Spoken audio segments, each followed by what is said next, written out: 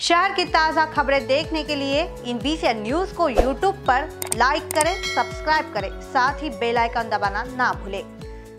राज्य में कानून व्यवस्था को मज़बूत करने के लिए ठाकरे सरकार ने दस हज़ार कांस्टेबल की भर्ती का फैसला लिया है। उप मुख्यमंत्री अजित पवार ने यह घोषणा की है कि उन्होंने कहा कि इस नियुक्ति से जहाँ पुलिस बल पर बोझ कम होगा, वहीं शहरी और ग्रामीण युवाओं को नौकरी का लाभ मिलेगा।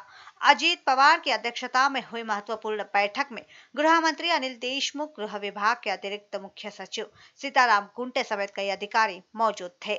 गृह विभाग ने 8000 पदों को भरने का प्रस्ताव दिया था। हालाँकि उप मुख्यमंत्री ने अन्य 2000 पदों को जोड़ने और कुल 10000 पुलिस कर्मियों की भर्ती करने और भर्ती प्रक्रिया को अगले एक साल के भीतर पूरा करने के निर्देश दिए हैं। कोरोना संकट देखते हुए किसी भी बाधा के बिना भर्ती प्रक्रिया को सफलतापूर्वक कैसे पूरा किया जा सकता है, इस पर तत्काल विचार करते हुए एक व्यापक प्रस्ताव को कैबिनेट की बैठक में पेश किया जाएगा। माननीय उपमुख्यमंत्री अजितदादा पवार यांच्या अध्यक्षतेखाली आज झालेल्या बैठकीमध्ये, महाराष्ट्रामध्ये, पुढील काळामध्ये दहा हज़ार पोलिसांची भरती करण्याचा अतिशय महत्वाचा निर्णय घेण्यात आलेला आहे.